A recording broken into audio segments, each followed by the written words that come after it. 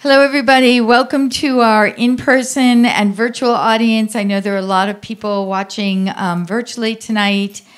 Um, I'm Amy McDonald, director of WBUR City Space. It's thundering and lightning. I think people will be trickling in um, throughout the program tonight. Uh, Temple Gill, who um, she uh, oh, there you are. Uh, who handles public affairs and partnerships for the Huntington Theater uh, and whom I've worked with for years. She called me just a couple of weeks ago and proposing that we have a conversation at City Space about the issues of slavery and the consequential historic economic disparities that are not directly addressed in the Lehman trilogy. I thought it was an important conversation to be had, and so apparently did all of you. To help put these issues into context, we are joined by Kyera Singleton, the executive director of the Royall House and Slave Quarters in Medford, and Steve, Steve Whitfield, professor emeritus at Brandeis University, whose specialty is political and cultural history as well as American Jewish history. Leading the conversation is WBUR's arts and culture reporter Cristela Guerra who we are about to lose to Harvard University, where she will begin her one year Nieman Fellowship.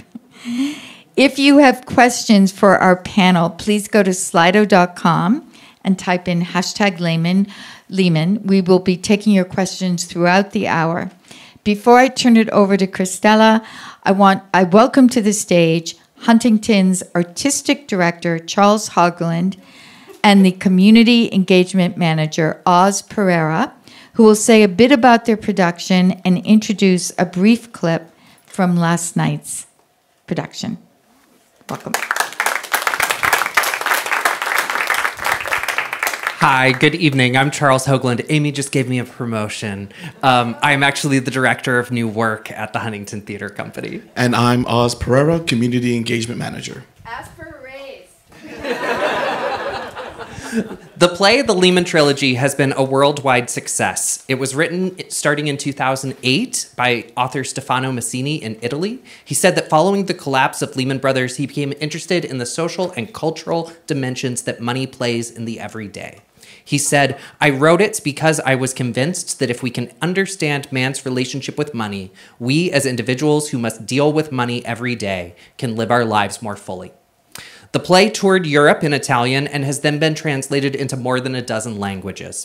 For the English translation, it was condensed to three and a half hours for a British production by Ben Power. That production, directed by Sam Mendes, toured to New York and Los Angeles, won the Tony Award for Best Play, and ignited public conversation at every step. The Huntington is now staging the American production of this play.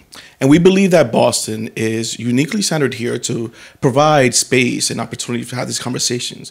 We at the Huntington believe that we shared a core civic belief with our community, and that's what allows us to have these conversations about history that actually matters. The Lehman trilogy follows the rise and fall of both the Lehman family and the Lehman Corporation, simultaneously intimate and epic. Tonight, we're starting with a clip from last night's performance of the play, our first preview. In it, you'll see Steven Skybell, who appears as Henry Lehman, one of three actors in the play, alongside Joshua David Robinson and Firdous Bamji.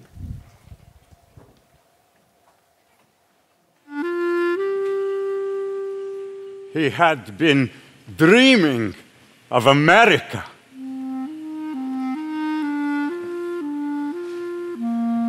The son of a cattle merchant, a circumcised Jew with only one piece of luggage, stood as still as a telegraph pole on dock number four in the port of New York. Thank God he'd arrived, Baruch Hashem. Thank God he'd left. Baruch Hashem. Thank God he is now finally in America. Baruch Hashem. Children yelling, the creak of metal and squeak of pulleys, and in the midst of it all, there he is, silent still, just off the boat, wearing his best shoes. the ones he'd never worn, the ones he'd kept in storage for that moment when I will be in America. And here it is, that moment, immortalized by the cast iron clock up high on the port tower, 25 minutes past seven. He takes a pencil from his pocket and a small black notebook. He writes 7 and 25 and notices his hand tremble. Maybe it's the emotion, or maybe after a month and a half at sea, just standing still on dry land, not rocking. Strange.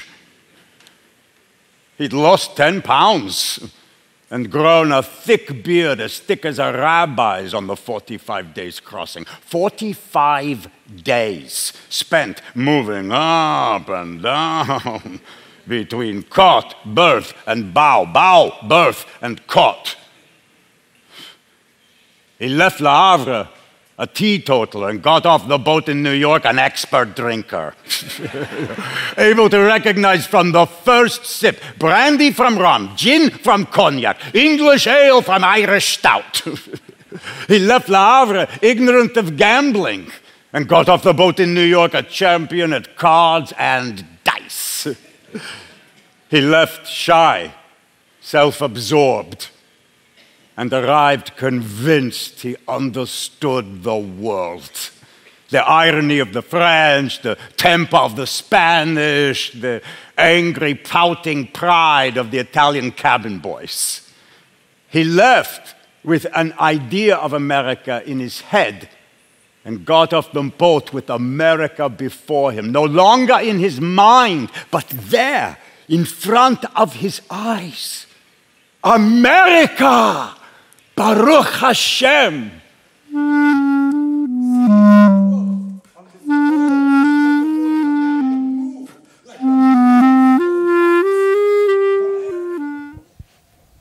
So that's the Lehman trilogy. That's a little clip there. When we were preparing to produce this play at our theater, we had deep and intense conversations around this play, right? There's a lot of complex issues surrounding um, issues of race, uh, issues of um, social and religious dynamics within the play that take part. Not only what you see on stage, but also the historical context that surrounds this play, right? What does it mean that the Lehmans profited off the institution of slavery? What does it mean that the Lehmans themselves own slaves, right? What does it mean for us to put on a show at this time of uh, about Jewish financiers in an age of swelling anti Semitism all around the world. And how did the Lehman shape American capitalism to what is today, right? Uh, the story of the Lehmans is not divorced from the story of America itself, right? America itself and the, the capitalist system is founded within slavery, founded within oppressing and the forced labor of black women, men, and children.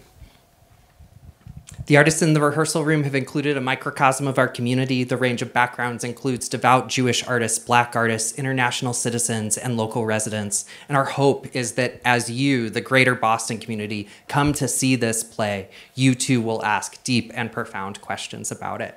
And uh, I know that we will also um, hear some of those questions tonight with our distinguished panel. So, yeah, without further ado, first I'd like to thank WBUR for allowing us to host this space. Um, and I'd like to throw it over to WBUR's senior arts and culture reporter, uh, Cristela Guerra. Can I get a round of applause?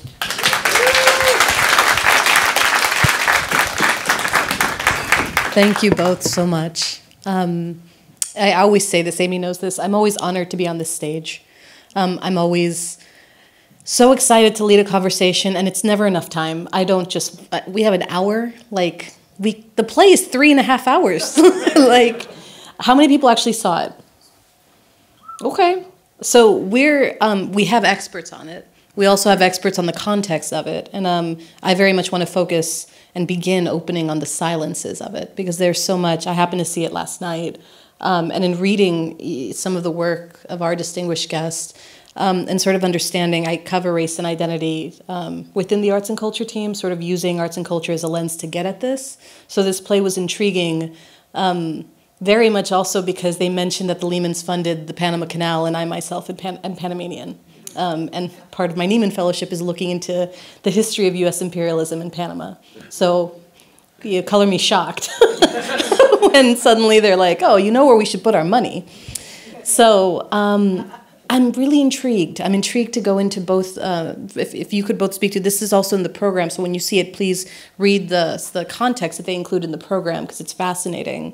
But what's erased um, aside from from their names? Which I mean, I myself am, am, an immigrant, but all three brothers, when they when they arrive, almost immediately uh, at some point change aspects of themselves, and then they change associations of their wealth. Um, what's what's what are the silences for you, Kyera? I think for me, one of the things um, that really stood out is that while they talk about accumulating wealth, while they talk about where they are, you know, investing in cotton, tobacco, coffee, essentially what happens is that um, the people who are doing that labor, who's picking that cotton, who is, you know, on the sugar uh, cane plantation, who's on the uh, coffee plantations, the tobacco plantations, they do not actually figure into um, the play at all.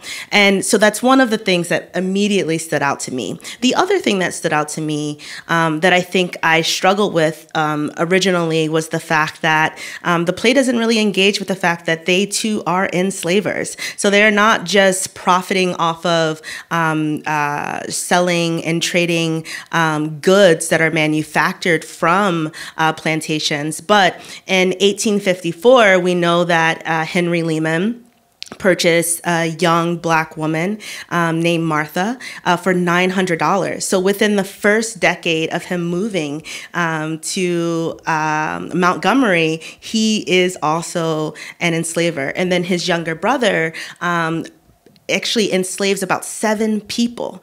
And so that is a very fascinating um, part of the story that just does not factor into the play. And I think it's really important to think about the people um, who are behind their wealth um, and that they're not just engaging and selling, you know, items at a dry goods store or um, selling uh, cotton to the north, but they too um, are participating in the buying, selling, um, and trading of enslaved people.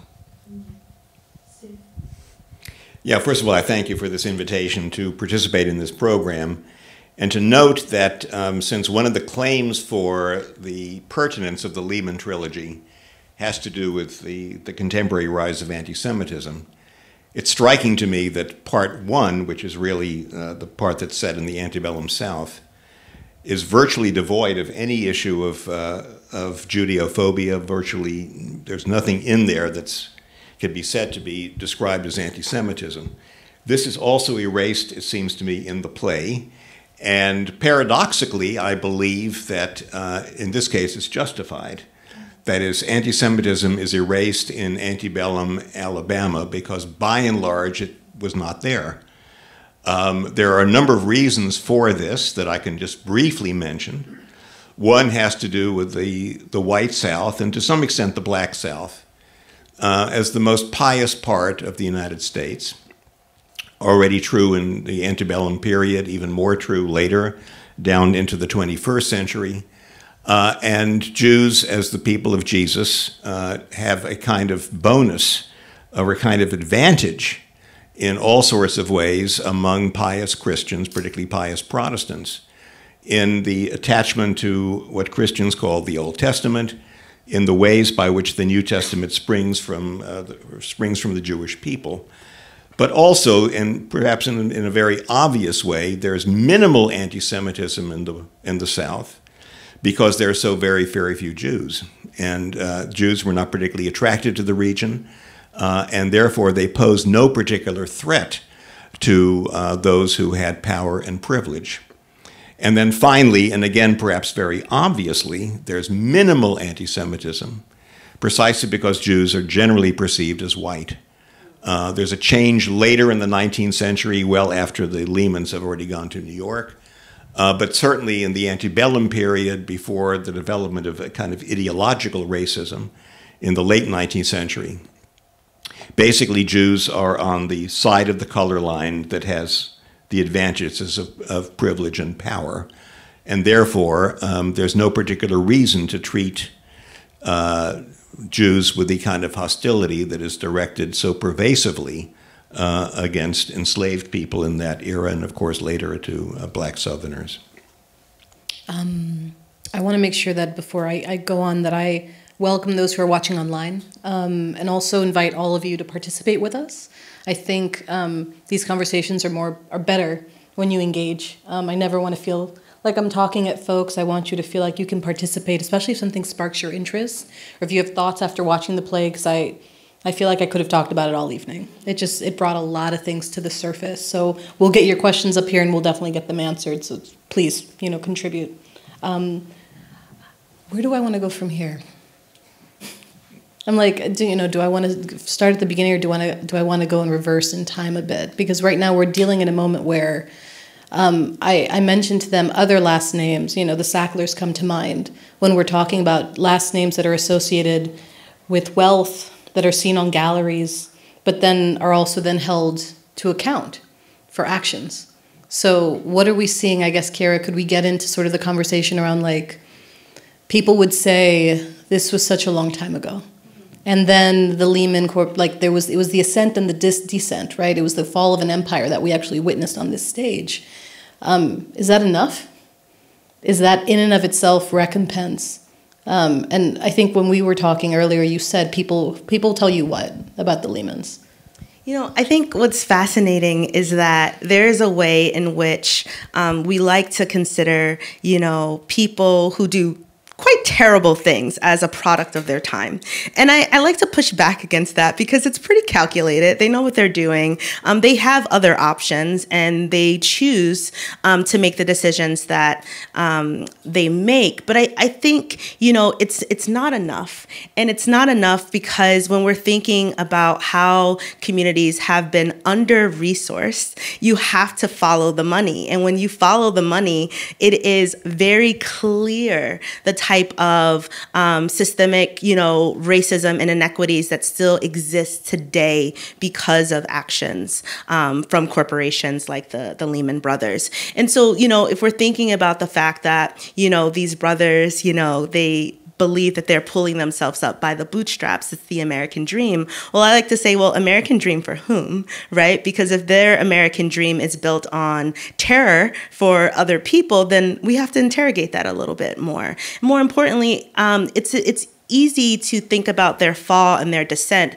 but not think about the human cost to the people um, whose lives they destroyed actually in the process while building their wealth. And so I think that we have to hold both of those together. Um, and until there's like some very real reparations going on, I'm not sure. Um, I'm not sure just their rise and fall is enough because, you know, the Lehmans, you know, still quite wealthy, actually, their family, their descendants. Um, we can't say the same thing um, about the people who, you know, they enslaved in Alabama or you know the black and indigenous people on the plantations in haiti and brazil where you know they're farming um, where they're picking um, uh, coffee beans um, uh, or the you know black West Indian laborers who were forced to work on the Panama Canal. Um, so I think that there's an accounting that has to be done.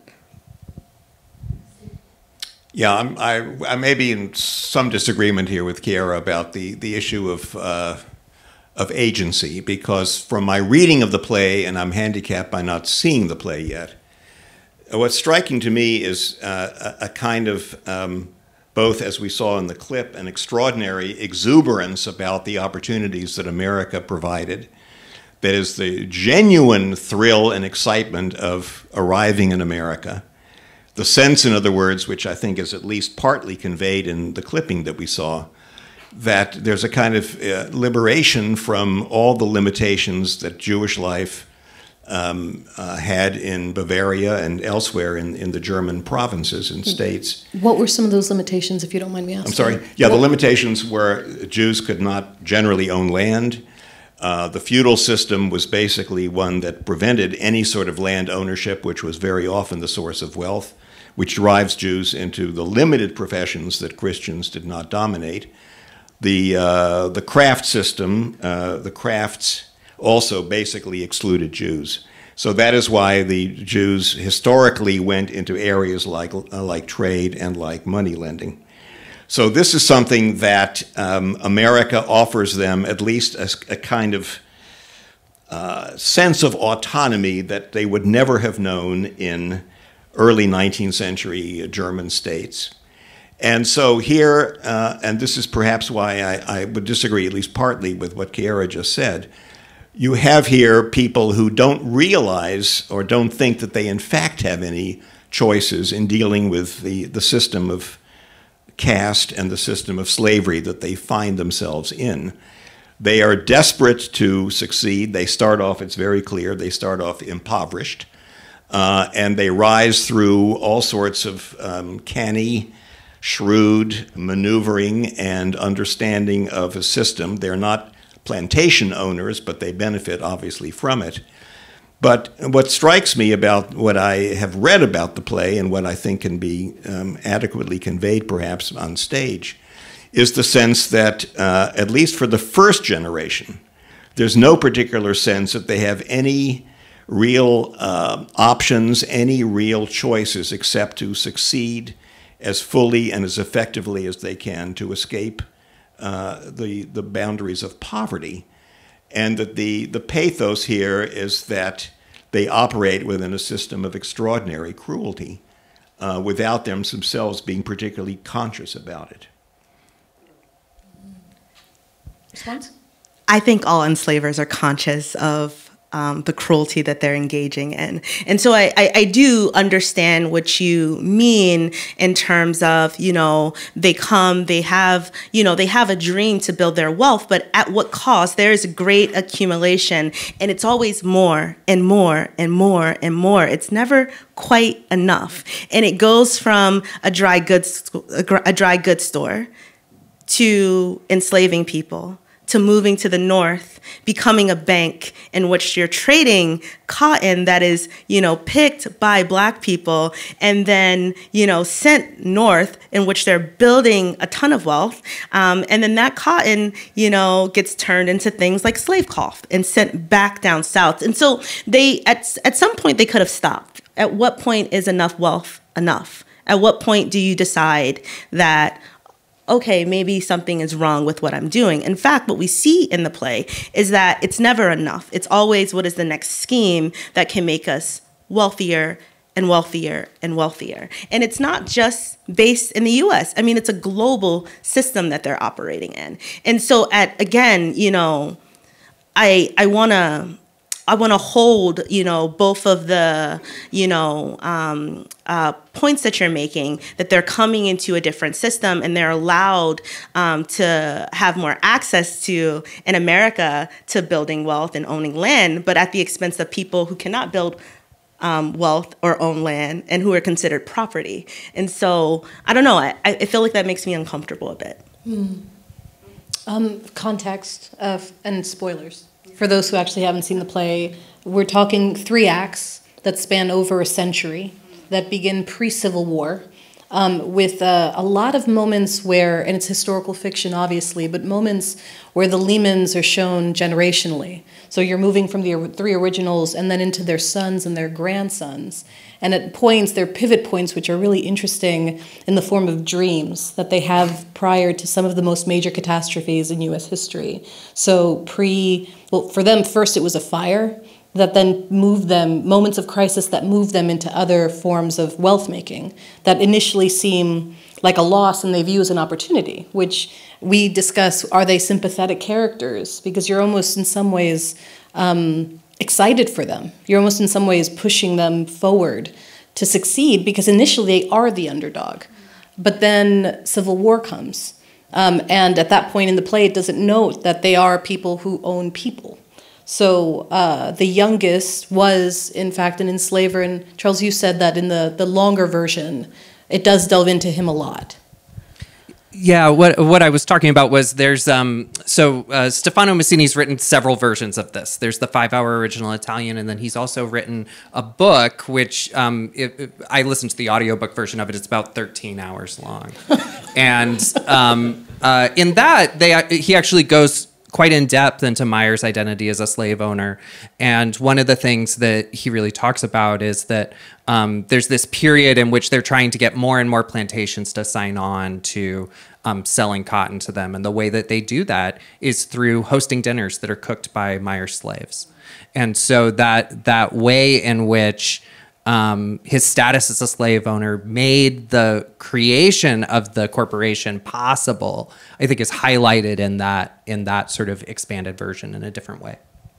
He also sides with the Confederate Army too. Like, um, so there's also this other part of the history that's not necessarily in the play, in which um, they are very much so Confederates. Well, and and so um, Emanuel, the brother that moves to the north earlier, is also funding the Union troops. And I think one of the things you were talking about, and perhaps you would expand on, is that complication of the way that money is created in the South comes to the North, and how that sort of feeds itself. Do you want to delve into that, and then I can? There's a question here for you, Charles, but I'll, I'll address these things first.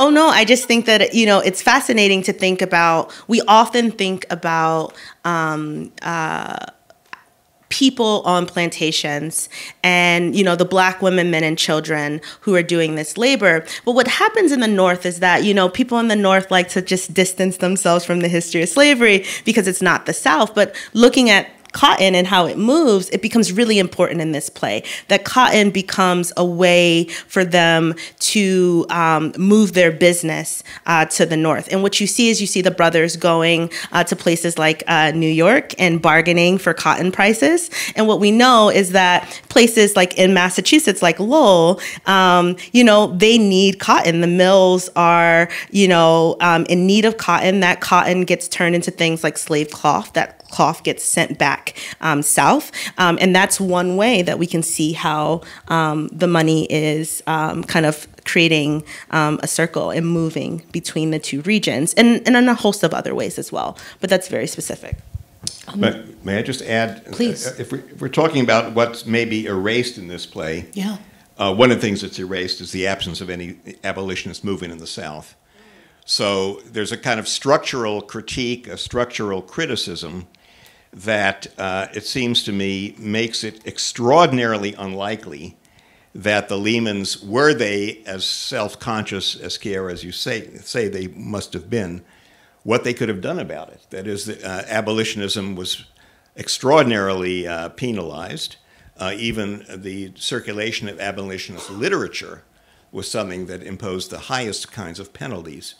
So the what I think the play is trying to suggest is that there's a structural um, difficulty that would be imposed on people even of extraordinary goodwill in terms of uh, opposition to slavery, and that the handful of whites who realized the moral um, uh, horror of slavery generally had to move north in order to basically uh, protect their lives.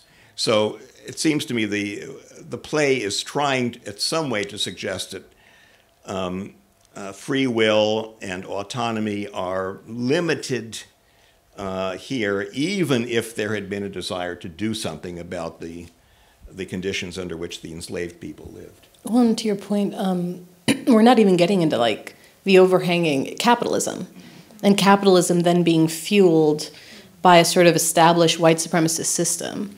It, it naturally, you know, and so then if we're moving into Act Two, um, uh, well, just before the Great Depression, which the way it's foreshadowed is fascinating, and I think you'll really, just with the lighting and just the mood setting, where it's this sort of, there's just so much hubris, um, and there's this feeling of like, well, we've made so much money, how much more money can we possibly make? So, if there's no agency at first, the gen- the generations later have a lot more, and then down the way um, there's even this idea of a loss of, um, and St- Steve, maybe we can get into this, and then Charles, I'll ask you this question.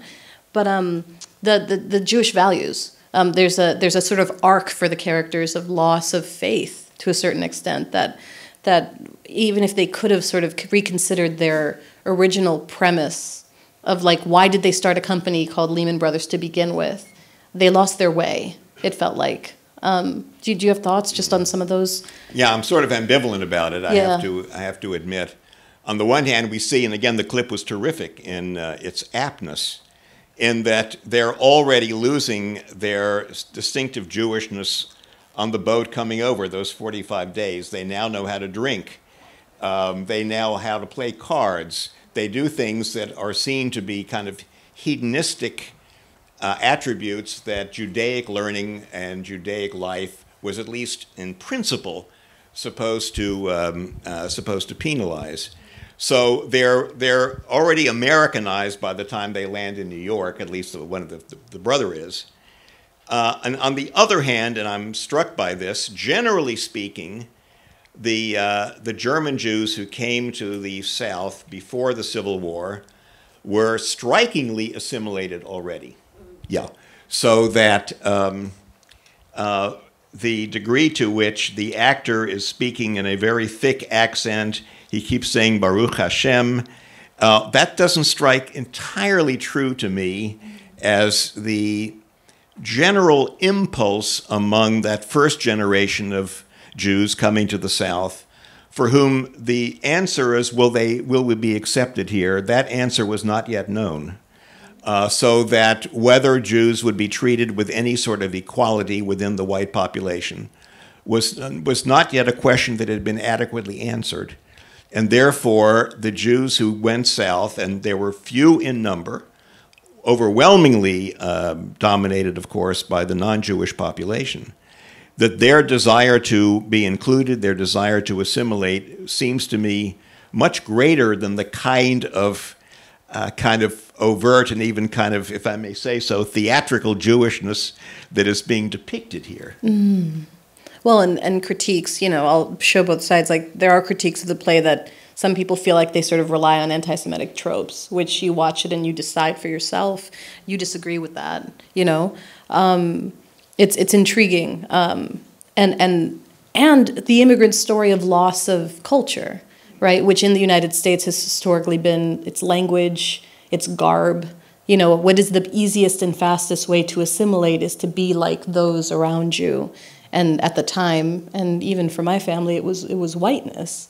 So how quickly, how quickly can you fit in, and then make money, and then get the house, and then attain power? But then in turn, do you then decide, well, the best way to do it is by oppressing others? Or do you just naturally do it because that is sort of the American way? you know.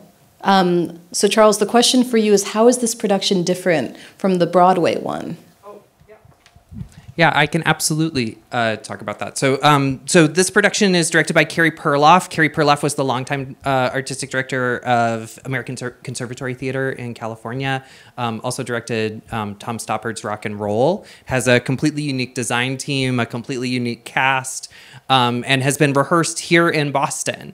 Um, and so the the questions that these artists were asking in the room are, are probably different than the questions that people were asking in the rehearsal room in London. And so I think you know every choice of it is different, other than the text. So in theater, um, uh, the text is owned by the playwright. And so, um, unlike in a movie where you hear about like the director making, you know, substantial rewrites and throwing out scenes, and the writer finds out in the cut, here, you know, the the um, the creative property of the playwright is the thing that we organize ourselves around. And so that's sort of the through line between the New York production and here. Thank you. Um, audience questions, which there's only one. There have been about three. I'm very disappointed. I, I, I, have no doubt you're far more curious than this. So uh, it's slido.com. We're doing uh, hashtag Lehman. Um, please, you know, ask me things, but I also have a million other questions I could ask. Um, so the question we have now is, uh, do the brothers' grandchildren lose their Jewishness? Which is a really interesting way of asking it. What does that look like? Um, it's, it's tricky because I, I believe the first generation is already losing it. So it's a matter of, of, a, of a kind of continuing declension. It's a, it's a very elusive issue, and I, I guess the, uh, for me, the most striking thing of having, again, having read the, uh, the entire play but not seen it, is I'm more struck by the fact that over the course of roughly a century, um, some core of Jewish identity is not abandoned. So, why that is, uh, there's no evidence clearly of, for example, intermarriage as one of the indices by which we can test that. Um, there's no real explanation, as I see it, in the play itself for the continuities, which strike me as more significant than um, the degree in which acculturation has taken on a kind of pace and a kind of velocity that one would expect after two or three generations. And something else mentioned earlier that we were discussing is the Holocaust is never mentioned in the play, as far as we know. Um, so we're moving into the second act after the Great Depression. How do they survive it? Do they survive it? And then we go into World War II. And so I think, Kyera, you put it in most fascinating terms. There are windows into the history, into history that you're seeing through the eyes of this one family and its wealth, which moves and affects the whole world. Um, do, would you speak to just some of that harm, that some of the global harm we were even discussing, just in general? Yeah, I think that you know for the the Lehman Brothers, I mean they're quite they're, they're quite smart. They're very crafty. You know, they're pretty astute business people, um, and the way that they are always constantly trying to get ahead um, of these uh, crises is to think of new ways to generate their wealth, and th- those new ways tend to be to invest in systems um, that are going to quite literally um, oppress others. And so, you know, we we know um, they invest in all types of things, yeah, railroads, canals, but then they start investing in movies. Um, they invest in one movie in partic- particular, which is um, uh, King Kong. Um, and I think that we can talk all about the racial imagery um, that is embedded in that film and kind of the, de- the depiction of a black brute. And then we can bring it all the way up to today where where LeBron James um, is on a cover of uh, is it Vanity Fair with uh, with the model is it Gisele, um, kind of in a King Kong stance. Um, and so I think that those are some of the ways that you know they're looking at how do they stay ahead of the times, how do they keep building their wealth, and then it just so happens, which you know I think is fascinating, that what they invest in uh, tend to have these uh, very important you know uh, racial connotations today. And I don't think that that is, um, you know, I don't think that that's just by chance. There was the point they were considering investing in housing, housing for workers to help support the workers. And that was the point where we move into the canal, where Philip Lehman says he's going to bridge oceans. And I'm thinking, is he maritime ships? And then he says the Panama Canal, which historical context. Um, Panama was ind- made independent uh, through uh, Roosevelt and his big stick, uh, in so many terms, as in like Panama was part of Colombia. It benefited the United States that Panama become independent. A year after our independence, the United States was there because France couldn't do it. France was dying of uh, malaria, dysentery, uh, mosquitoes. Um, the French were being killed by mosquitoes the U.S. builds the canal and is essentially makes a contract for uh, ever uh, to be occupying my country. So until Jimmy Carter, and Jimmy Carter said until 1999. Um, the U.S. also placed, uh, essentially trained a dictator named Manuel Noriega in power. Um, he was taken out by the United States because it didn't benefit Bush Sr. to have what they called at the time a dictator in his back pocket. I was four. That was in 1989. And then I was there in 1999 when the canal was returned. So many would say that Panama is only actually 23 years old because we've only not been occupied for 23 years. Um, so, thus, I did not know Lehman money went to building the canal. Um, and the canal was mostly built by West Indians, uh, which then influenced the culture of my country altogether. What are the other, who built the railroads? Yeah, um, I think that you know when we think about the history of you know Asian Americans who are um, often Japanese Americans who are um, building you know the railroads, um, and we know kind of how that history plays out and how people are forced to endure extremely brutal and unfair labor um, practices. And so, again, you know, I think this is the thing about capitalism, right? Um, that capitalism allows um, it's kind of amorphous um, and it is it is a part of everything but when you really start to think about capitalism you have to talk about racial capitalism and you know um, there is a book that i love um, soul by soul by uh, scholar walter johnson when he's talking about you know slavery and i think we can um, actually think about how that then plays out historically he says you know it boils down to just a person with a price you know? And when we're thinking about how they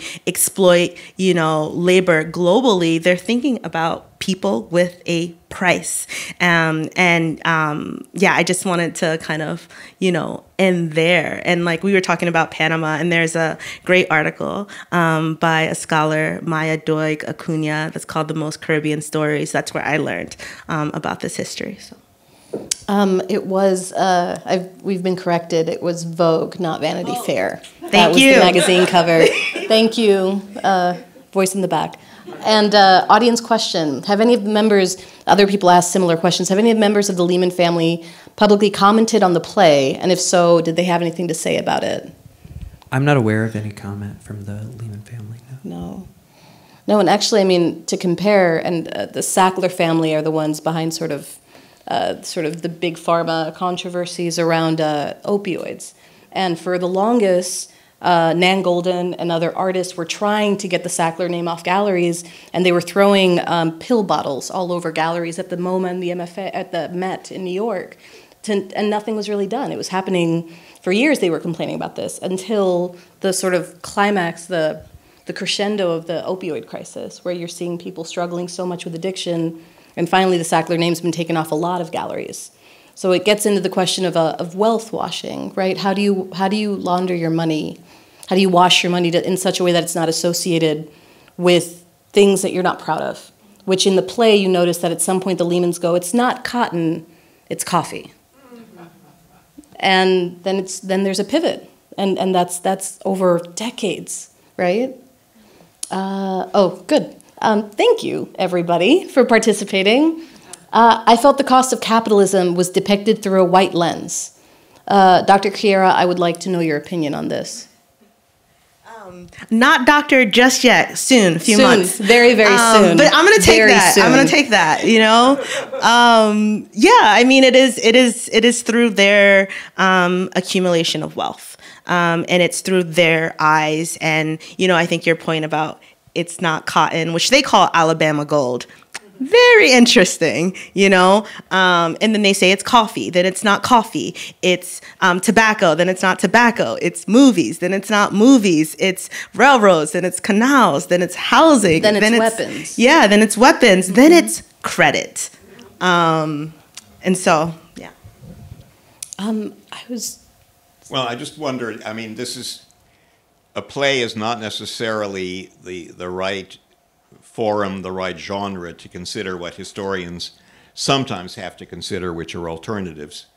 So I suggested earlier, as, as one example, that there was really no alternative for even the most well-meaning, most courageous, most anti-racist white in the antebellum South to really do anything about slavery. It was only, of course, the, the bloodshed of the Civil War that basically ended that.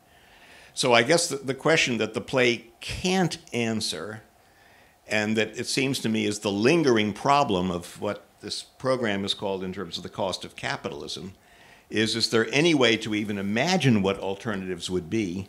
Or to put it more directly, is there any way of imagining any capitalist enterprise, any sort of financial system that does not in some way implicate um, uh, racism, does not in some way implicate tremendous cruelty, so that even in, in countries where there isn't a so called racial problem, like the way in the Industrial Revolution begins in places like England and Belgium, you have extraordinary uh, horrors in terms of dealing with that, which had nothing to do with race.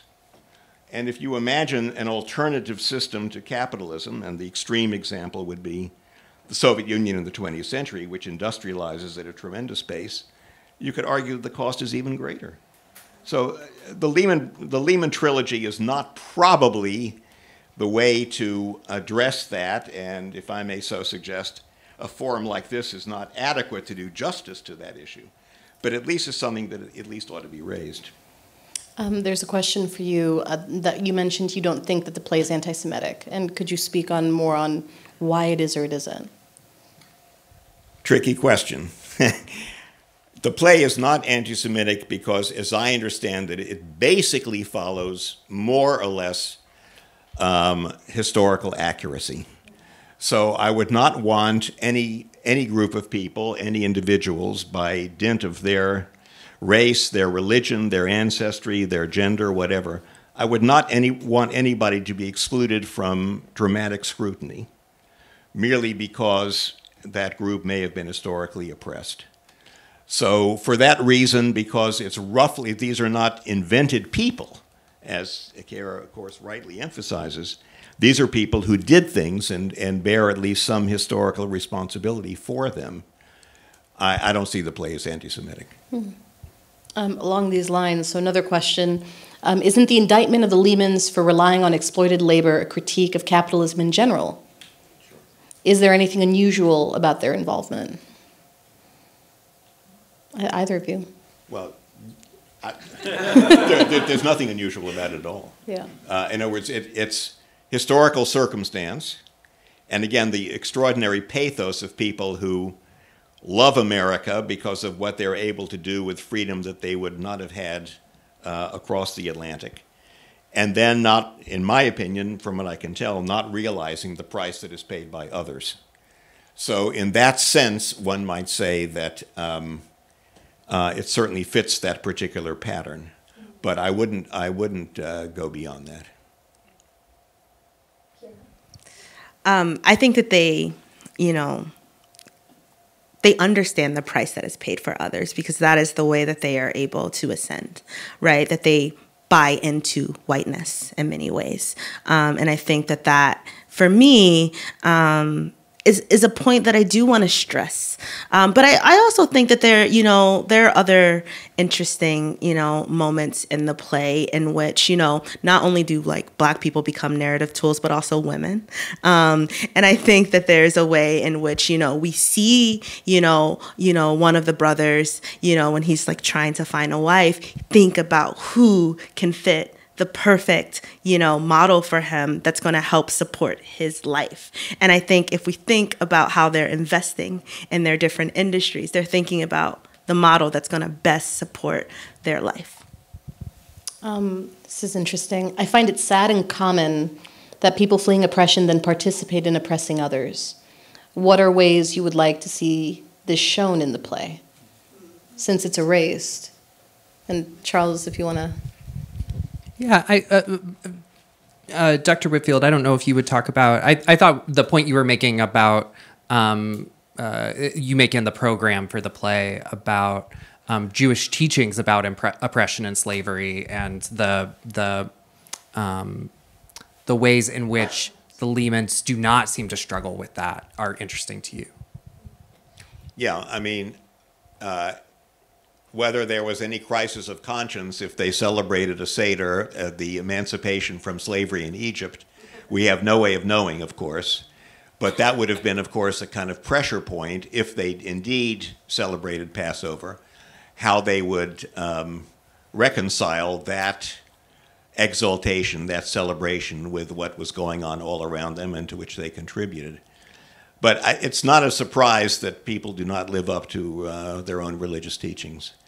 And uh, I'm not going to shock anybody in this audience in saying that. But uh, it's also very important that there at least is that tradition in Judaism that would at least offer a kind of uh, moral challenge if it were, as Kyera keeps saying, if it were in fact addressed. And it's, it's really not. Um, another question for Dr. Singleton. I'm going to get used to saying that.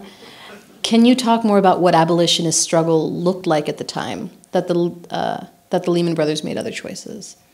Yeah, um, that's a good question. I mean, this is uh, 19th century, um, you know, so there is a hotbed of abolitionist um, activity um, throughout, um, you know, throughout the throughout the country, and I think that you know, particularly when they moved to New York, I mean what better site to think about that happening um, than there?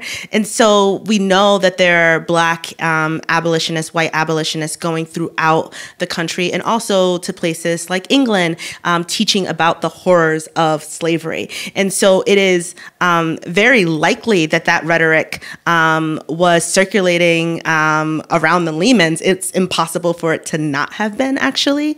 and so, yeah, there's there's a ton of abolitionist activity. There's a ton of thinking about um, ending slavery, fighting for the end of slavery. Um, and we have some very famous, prominent abolitionists, um, Frederick Douglass, you know, um, just to name one, um, who's not only, you know, giving speeches in New York, but giving speeches here in Massachusetts, giving speeches in other places and also globally as well. But he's not, he's not giving speeches in Charleston. He's not doing it in Richmond. I mean, abolitionism is not a, is not a Southern phenomenon. And the, the handful of white Southerners, like the Grimke sisters in Charleston, are forced to leave. I mean, abolitionism is basically blocked, prevented by every imaginable way, way by the uh, slave owners who uh, run the South in this period. And, and in the North, it's, it's, it's um, in various ways unpopular. There are a number of abolitionists who were killed. Wendell Phillips uh, has a rope around his waist when uh, through the streets of Boston by a mob. Uh, abolitionism was struggling, certainly in the 1840s and well into the 1850s. And only with the Civil War was there the realization that the only way that militarily the Union could be preserved and uh, the war won was by adopting the abolitionist cause, but that came late, and Lincoln is famously slow in adopting the realization that emancipation was crucial to a military victory. Lincoln also just wanted to send everybody back. Yeah, yeah. At one point he did. Yeah. I also want to be very clear that when we're talking about abolitionists, the biggest abolitionists are enslaved people themselves. And they are quite literally um, self emancipating. Um, they are, their slave narratives are circulating. Um, the, while it's interesting to think about not a major abolitionist movement in the South, what's really hard for me to to contend with that is that abolitionist literature is moving all throughout the South, actually. Um, enslaved people um, have uh, abolitionist um, uh, print, printouts in their slave cabins. And so I don't want to say that it doesn't reach the South. I think if we're talking about the ways in which white people are engaging in abolition, then yeah, maybe. But black people, you know, have always been abolitionists um, as long as slavery has existed, actually. So. Mm-hmm. Um, any contemporary connections you see to what Cristela Guerra aptly referred to as Lehman Brothers wealth washing? There's a lot. Any that come to mind? Yeah. I mean, it happens all the time. It's sort of just, I think you have to watch history sort of turn. And then what becomes unpopular? You know, where are you investing? Um, at some point in the play, towards the end, when the Lehman's, it's no longer a Lehman running the company, they're involved in trading. And the trader uh, is sort of behind the scenes doing the what he calls dirty work. And then there's uh, he's Hungarian, I believe, a Hungarian immigrant. But Looks there's sort of the, the the face of the company is this sort of Greek educated man. And so there's always this question of like, when you have that much money, is it all clean? Um, you know, we have about four minutes, but I, I wonder if that's something we sort of end on, you know, and do you need that much money? Does anyone really need that much money? Is, is the ultimate goal of capitalism, you know, is the immigrant, is the American dream, is the mythology of the American dream ultimately to achieve the level of success that the Lehman Brothers did? You know, is that what everybody's looking for? Is that, is that what everybody wants? You know, I say this as a reporter who was at the border in the fall talking to, you know, Venezuelan migrants who had walked most of Central America on foot, coming to a country that claims a lot of things. Um, many of them are not true. Um, and so, thus, the, the mythologies that we are sort of very concerned about children reading about in books, you know, seemingly this country is very concerned about learning about its skeletons. We're in a moment of, of, of very concerning histories coming to the surface that have always existed. And suddenly people are finding out about them and God forbid. Uh, final thoughts? Uh, yeah, just picking up on that, it seems to me the play probably, as I say, hand, my handicap is not having seen it, but the play seems to be leaving that question unanswered um, as to whether all this extraordinary intensity in the accumulation of wealth, whether that um, has any ultimate uh, satisfaction in terms of happiness, in terms of moral assurance, uh, in terms of awareness of uh, being helpful to society. The play doesn't seem to me to uh, even raise that question, much less answer it. Uh, it's, a, it's a story of a saga of a family, its ups and ultimately its down, without, it seems to me, offering a, uh, uh, an actual voice of criticism of it. It prefers to describe it. It's important for historical reasons, maybe also important for dramatic reasons, but it doesn't, it doesn't allow a kind of final punch by which it says all this is worthless. Uh, there are all sorts of works. The Great Gatsby is the one that comes immediately to mind that shows that all this effort at wealth is meaningless and uh, self destructive. I don't think the Lehman trilogy is in that category. Hmm. Kyera? Um, I think it, you know, it is it is i you know I, I i agree to a certain extent actually. And you know one of the things though i think is very fascinating is that it tells us to follow the money essentially you know? And if you follow the money then you're going to find um, where the money is coming from. And so i wanted to do a, one quick thing. Like you mentioned the grimkes um, so kerri greenidge's new book on the grimkes show that they're able to do their abolitionist work because they're being funded from you know their family who are enslavers right? So if you you you follow that money oh surprise surprise it links back you know? Um, there's a really amazing work being done around the churches here in massachusetts um, one by a scholar a scholar named abid alibai and talks about you know um, first church of roxbury and how you know enslaved people are in that parish. And if you look at old north and king's chapel and lots of other places surprise, surprise, they're there too. And then we can even, you know, bring it to the fact that um, the Lehman Brothers, like the the bank crashes 2008. Well, we're on the onset of the financial housing crisis. There is a cost to that. You know, the people who are most impacted by that, black and brown communities who have never recovered. And it's not lost on me that we are in Massachusetts where the average net worth of a black family is $8 compared to the average net worth of a white family. That's 250,000. And that has everything to do with property, um, you know, in many regards. And so I think when you follow the money and you follow the choices, while this is a, a work of historical fiction, art also reflects the times, you know, in which we are in. And I think it's doing that for all of those periods, even when there are silences. But it helps us understand, you know, today that those silences actually are not silent, are not silent for certain communities. On bootstraps don't exist. Generally speaking, the idea that people pulled any bootstraps up did not have a leg up already, did not have gener- generational wealth, property, um, just were given immediate access. I love, I'll end it on this. Uh, it, my favorite character was the potato. When you watch it, you'll know. And the potato had this smile that would just convince everybody to do his bidding. Um, so, historical fiction, fiction, we don't know if Mayer Lehman was like this.